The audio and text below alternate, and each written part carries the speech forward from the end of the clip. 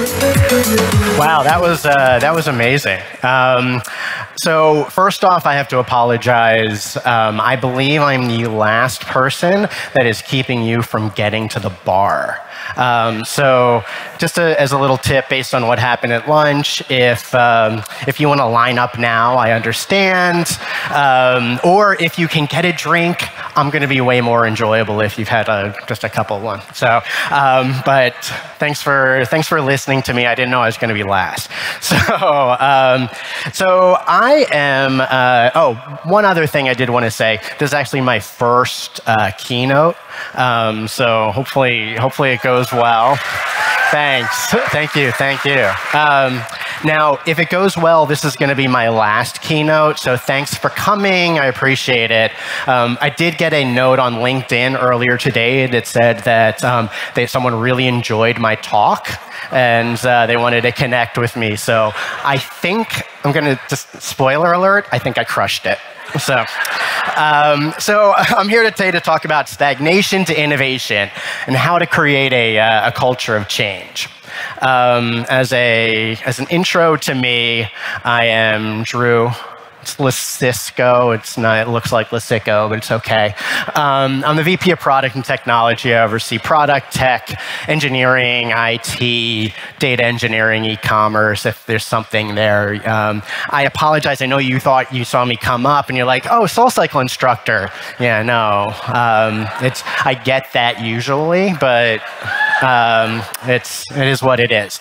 But I've, uh, I do bring 18 years of product management. Um, I was doing this starting in actually 1999. Um, I helped Russell Simmons build his first website, which uh, eventually became BET.com. Most of my job was getting him vegan burritos, but I also helped him think of what to do. Um, you know, I'm also formerly from uh, IAC, as most of you see the building on the west side, AOL, Yahoo, Verizon. Um, at, uh, and, you know, I'm sure, you know, some of you are thinking, wow, some innovation, some guys talking about innovation and he worked at AOL. Like, what the hell? Um, but the truth is that where I'm coming in and what I'm going to talk a little bit about is not innovation like how Google looks at it. It's more about when you find yourself at a company that's well established, that's been around for a long time, how do you help them find the innovation? You know, companies become stagnant. They lean into their business models. We're going to talk a little bit about that. But what you can do is help them find something new.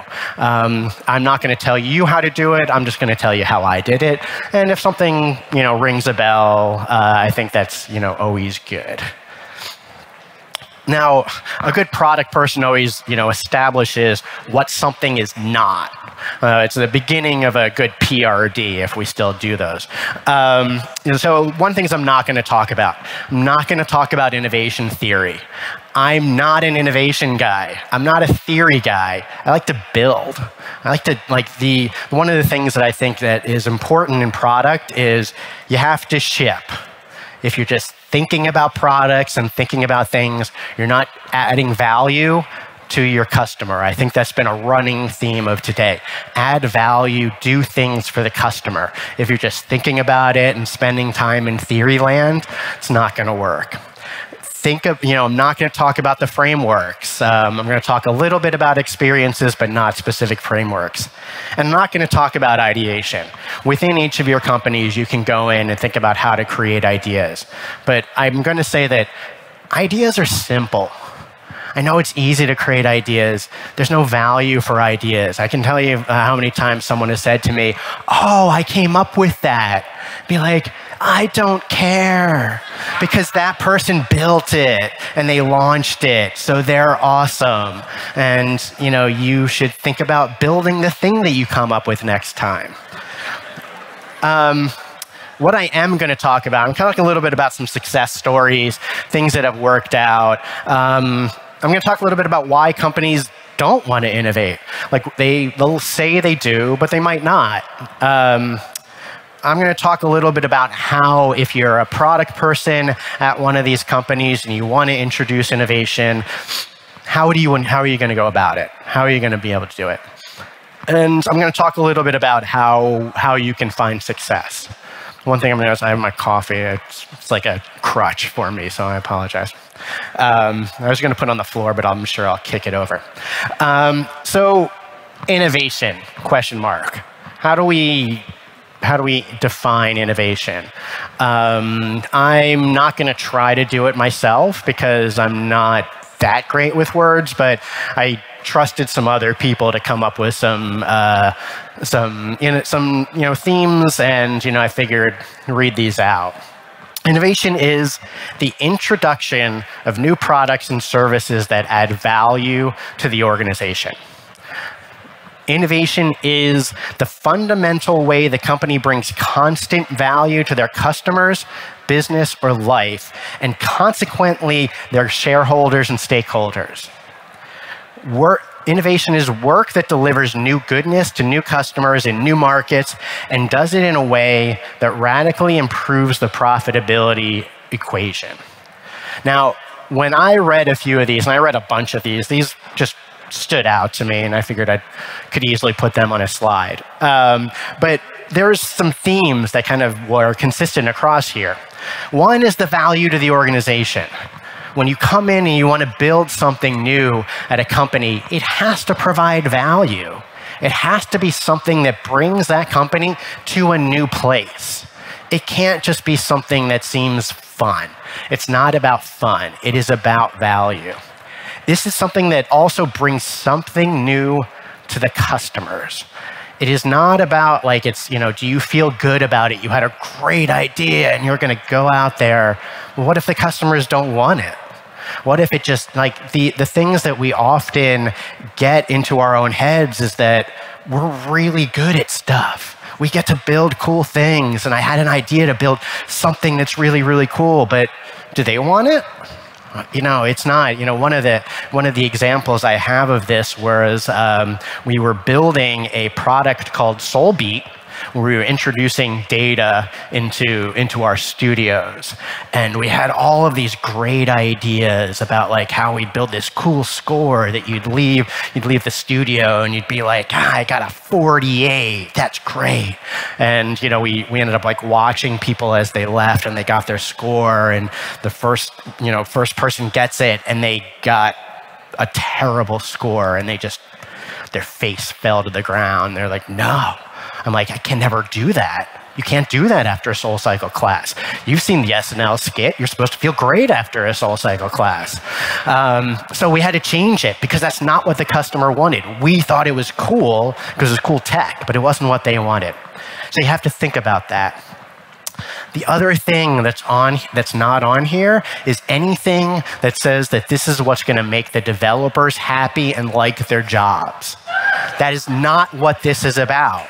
This is not Innovation Fridays. This is not, hey guys, do whatever you want. You got cool VR shit. Yeah, let's do it. No, that's not it.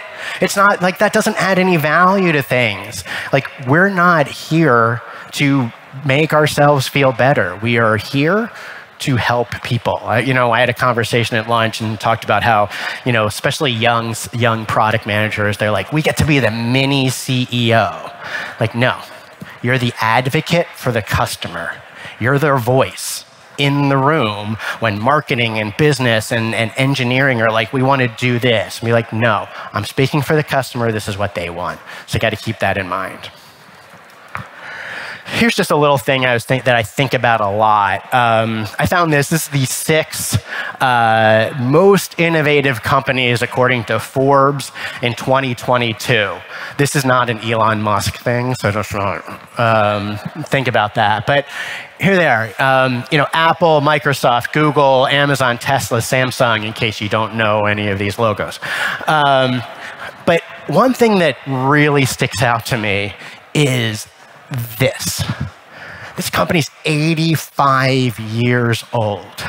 These companies have all been, sadly, pretty much in my lifetime, which shows how old I am, but, um, but 85 years old. How are those guys still so innovative? How are they still so big after all of those years? And I think about it a lot. I remember going to the campus and going to their innovations lab and thinking, holy shit, Samsung, they started out selling fruit on the street. And now they make the coolest phones, even though I have an iPhone. They're really cool, they fold. Um, so, like thinking a little bit about Samsung, why they, why they were able to innovate. They were founded as a grocery trading company and they had some success. And then World War II happened, and they're like, hey, we've done this success. We've, we've been able to circumnavigate the war. What else can we do? Let's enter the textiles uh, space. We can then expand more. We can do a little bit more. We can help people regrow. And they're like, hey, this is working. What about electronics? We still, we still import fruits and vegetables. People are getting, you know, people have a lot of refrigerators. Why don't we get into that space? People need to wash those textiles. Why don't we help build washing machines? And they became huge at that. And then, and then finally they started, you know, they said, we're doing this really well in South Korea why don't we expand to the rest of the world? And they started building new products. They went from selling fruit on the street to being one of the largest electronics manufacturers in the world. And I'll tell you that like we get into our own little world of like you walk around, you're like iPhone, iPhone, iPhone, iPhone. But when you leave, uh, when you leave the United States, a lot of you know you see Galaxy, Samsung, Samsung Galaxy. Um, it's a little bit different. And, you know, that impresses me. It doesn't impress me when Zynga is the biggest company in the world and five years later they're gone, or MySpace is the biggest company in the world and three years they're gone. That's our tendency. We tend to build these great things and we don't know where to go with it. Meta's going to go away at some point. A lot of these companies will go away. But companies like Samsung stick around because what they do is they think about how can they take the money and the revenue that's coming in and innovate and change and go into a new space, which is really, really crucial. So stagnation, why does stagnation happen? Why do they company, why do they kind of go into this space?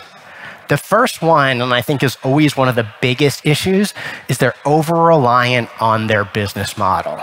All of their money comes in from this one thing, and then everyone's like, well, why are we, why would we not keep investing in this? It's because it's going to go away eventually. Something is something is going to change. You know, we all talk about you know the the Henry Ford. If we asked people, they'd ask for faster uh, faster horses. That's the that's the same mentality. They're, you're just kind of focusing in. When I was at AOL, um, and you know, you know, every, the first thought about AOL is always, oh, they they leaned too much into uh, dial-up, which they did. But when I was there, we were more of an advertising company. And one of the things that was a huge problem was we were so 50% of our rev, of our of our traffic at the time was on mobile devices, 50% off desktop, but 95% of revenue was on desktop. And so the GMs of Huffington Post, TechCrunch, Engadget, Moviefone, something obviously Moviefone doesn't exist anymore. But anyway, um, you know, what they said was as a GM, they're like, why am I going to invest in mobile? Like that doesn't make, any, make me any money. Desktop makes me money. Like, but that's not where the customer is going. You're just thinking of yourself. You're thinking about keeping your money and investing in some place that's going to die out, which doesn't help. The other thing is a focus on iteration versus innovation. I remember at you know one of the times after I founded Alpha and we merged, and this was at AOL, we merged together with Yahoo, and one of my counterparts at Yahoo said to me, "Well, I don't understand why you guys exist because I can change a button on Yahoo.com." And maybe make it a little bit big, bigger, and I can increase conversion rate by half a percentage point. That's going to make me $10 million. And it's like, but because that's what's going to, but that's what's going to work today but that's going to be $10 million, then it's going to be $5 million next year, it's going to be $2 million in a year. But if I can build something on a new platform, connected televisions, for instance, that then maybe doesn't have as much scale now, but then next year it's going to be bigger, and the year after that it's going to be bigger, and now that's where everyone wants to spend their ads. They, they, they, have ad money. They want to go on connected televisions. And now you're set up for success on the new platform as opposed to leaning into what you did before. And the, second, last one is fear of change. Everybody's scared of change. I get it. I'm scared of change. I don't want to do like, I like, I know what I know. And I have, to, I have to learn something new. I have to learn a new platform. I don't know how to make money on Alexa. I don't know how to make money on mobile. Well, you have to figure it out. You have to take the leap. So, how do you do it? How do you introduce innovation? So, a couple things that I think you need to consider when, when you're actually thinking about bringing some innovation into your team. The first one, and this is, you know, you'd understand, maybe some of you seen this phrase before um, from the lean canvas uh, or the lean startup uh, mentality is what's your unfair advantage? What is the basic thing that makes your company great, that the basic value that you're providing, and how do you lean into that? When you build something that's innovative, it doesn't have to change that. It should, it should continue to lean into the unfair advantage. When I think about SoulCycle, for instance, and I don't know how many people have actually taken a SoulCycle class. Used to be that used to be that SoulCycle was like people would talk about Peloton. They'd be like, "Oh, Peloton, that's like the SoulCycle, but at home." Now we're like, "Oh, SoulCycle, that's the Peloton in person." Yeah just sad, but anyway, um, uh, I don't even know if that makes any sense. But um, when I think about SoulCycle and I think about our unfair advantage, everything, everybody comes up with something different. They're like, oh, your unfair advantage is that you've got cool instructors or you've got awesome music or uh, um, I'm like, no. You know what makes SoulCycle, like what our unfair advantage is? We take something that inherently sucks, working out, and we make it fun. So like that that actually is a is a baseline that you can build new things on top of. It's not necessarily I need to bring in 40 people and put them on a bike to listen to Dua Lipa and you know and dance around for 20 minutes. Um, I can actually do something that's a little bit different because I found what my unfair advantage is. You also need to look at what's happening in the market um, you know, this is a lot of times then you get pushback from, you know, for instance, what we were doing was looking at new and emerging platforms, and they're saying, well, um, you like, but uh, it doesn't have scale. You can't wait for scale. Scale doesn't work when you're talking about innovation. Look for trajectory. Look for your for something that is growing. We would have never built things on the Apple Watch or Alexa or Apple TV if we were waiting for scale. We wanted to be first adopters. We wanted to get on them. We wanted to make sure that when someone bought that product, they had the Huffington Post on there, that SoulCycle was part of that product. Um, you got to think about what resources you have. You have to have the team around you. You have to have back end engineers. You got to have a go to market plan. You got to have people that are going to be around that are going to help you from soup to nuts and you need a business model. I, one time I spoke in a conference in San Francisco and we were talking about chatbots. And, and I was like, well, we, there's, no, there's no business model. There's no way to make money. And everyone's like, ah, you don't have to make money. It's, ah, you build it and grow and, and the business model will come. No, you got to think of how you're going to make money. You got to think of how you're to succeed because if you're at a company, they don't care. They don't care about cool. They care about revenue. They care about value. So make sure you think about this. So learning. So as I said, I, I launched a, a, an innovations lab at AOL called Alpha. I co-launched it with a guy named Peter Rojas, who was the original founder of Engadget. Um, and you know, some things that we found in you know in in building Alpha and figuring out how to, how to create this five year innovations lab that existed through, uh, through AOL and through the, our acquisition by Verizon and our merger with Yahoo.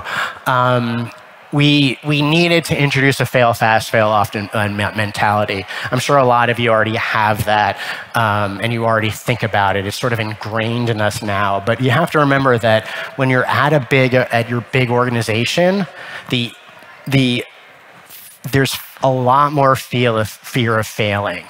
So you have to make sure you introduce that. You have to make sure that everyone knows it's okay. You're going to fuck up. You're going to release something that doesn't work. You got to get in alignment with the brands and the partners.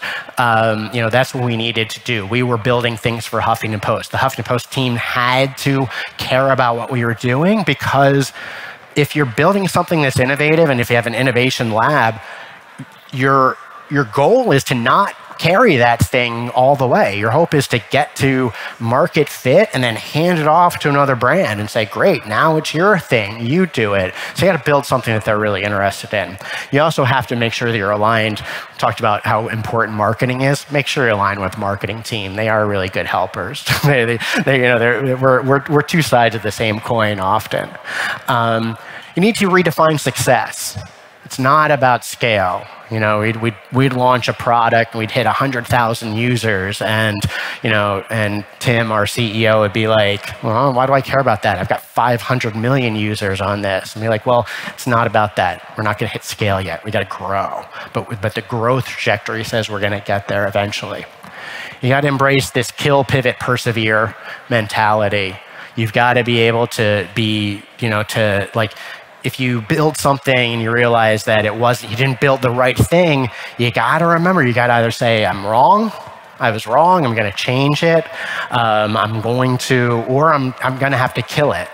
One of the things that, you know, when I, I work a lot with consultants, and consultants are always like, well, you got if you did all the research, you know you're going to do it. I'm like, yeah, it's bullshit. Like, you can't guarantee success.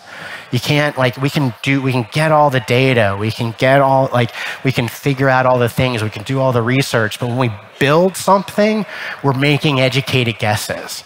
We're making really informed guesses, but we don't know how the market's going to perceive it. So sometimes we're just going to have to kill it, or we're going to change our ideas. The same thing is be ready to let go. If, you're, if you built something and if you hold it too close to your heart, you're not, and you, you know you need to like be able to hand it off to someone else, that's really important at SoulCycle, a lot of the, the, the findings that we've had, and you know, it's been tough. You know, in, in, in 2020, we had to shut down all our studios. We're like, all right, what now? How do we keep how do we keep making money? We had to innovate. We had to change. We had to make sure that we could still keep ourselves afloat you know, launched an at-home bike, launched, uh, you know, live streaming classes in what was about six weeks. Um, you know, we had to figure out a way to go for, forward. And, you know, some of the things that we learned were you have to stay true to what makes your company special. We talked about that, your unfair advantage. Don't try to create something that's brand new. At SoulCycle, we're not gonna, you know, we're not gonna start a drone racing league. Not what we do. Um, I think there is one. It's cool though. Um, you know, change can be hard. Like one of the things that you know in, in the in SoulCycle has been around for 16 years. People are very ingrained in what it is. And so sometimes you have to say, I get it, but the world's changing. You're going to have to change with it. Something is different. One of the things that we did was we introduced digital check in for our customers. And it was because, you know, if you've ever gone to a SoulCycle class before, the, the, the process is you'd go in, you'd have a sign up sheet, everyone would go and they'd sign up and they'd go. And the press perception was that, like, this was the customer touch point like, oh, yeah, we can't get rid of that because you, are forcing the customer to come in and talk to people.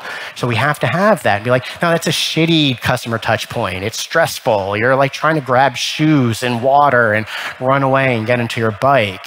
Like if we digital check in, we'll, we allowed, we'll allow them to like walk in and set up the, the bike for you. And um, so we launched it and then uh, nothing changed because the staff was still sitting behind the desk waiting for people to come in and be like, no, it's digital now. Get out there, talk to people, like do do customer service things. And uh, and so we, we had to we had to we had to get that change. We had to get that alignment with everybody. Um, you have to make sure you're working with your cross-functional stakeholders, making sure that everyone's aligned in this. Like they're not you're like you're probably coming up with an idea and trying to build something but if you don't have that alignment with all your different partners they're not going to embrace it they're not going to help you out with it um, and don't be scared to ruffle feathers. You're going to. Like you're trying to build something new, and it's going to be a little bit hard for you. So, um, you know, make sure that you're you you go in with some you know some confidence. So, just some tips to succeed as I finish up. Um, not every idea is a good one. Um, choosing what to build can be the most difficult challenge. You know, we talk about it all the time being a product manager, one of the biggest things, most important things is knowing when to say no. And, and, and being able to collect all these ideas and say, okay, I've got a thousand ideas, this one's the good one. Figure out what those want. You are going to fail. There's going to be times when you screw up. Learn and move on. Don't be too beholden to it. Don't worry too much. Um, and remember, you need to make some money. You're going to have to make money at some point. It's not about being cool. Uh, and that's it. I think it's alcohol time, but I'm not going to.